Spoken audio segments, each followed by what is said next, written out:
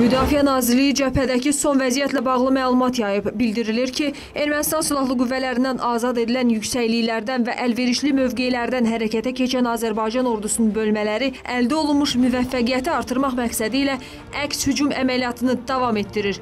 Düşmənin müqavimət göstərdiyi mövqelərə raket, artilleriya və aviasiya zərbələri endirməklə o sıxışdırılaraq əldə saxlamaq istədikləri hədlərdən geri çəkilməyə məcbur edilir.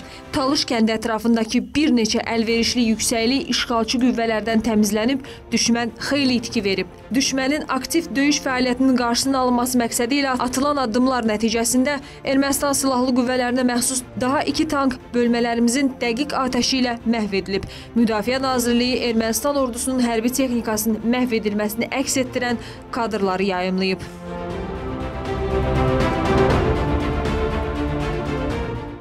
Əməliyyatın gedişində əldə edilən kəşfiyyat məlumatlarına əsasən Ermənistan ordusu döyüşçülər nəticəsində ciddi içkilərə məruz qalıb.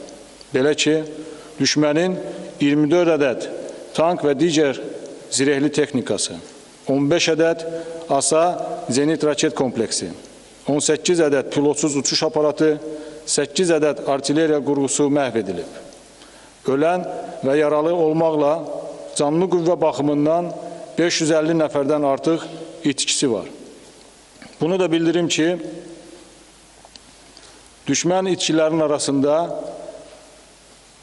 aşkar edilmiş bəzi cəsədlərin Suriyadan və yaxın şərqdən gətirilmiş erməni əsilli muzlulara aid olduğunu aşkar etmişik.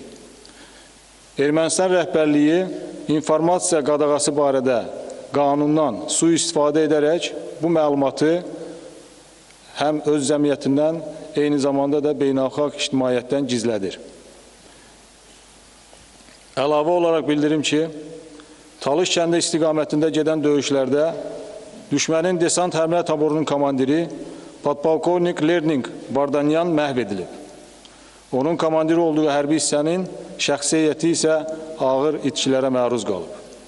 Düşmən ordusundakı yaralıların say çoxluğu bu səbəbdən hərbi hospital və mülki xəstəxanalarda yer qıtlığı yaranıb. Qan bankında isə ehtiyac qan çatışmamazlığı mövcuddur.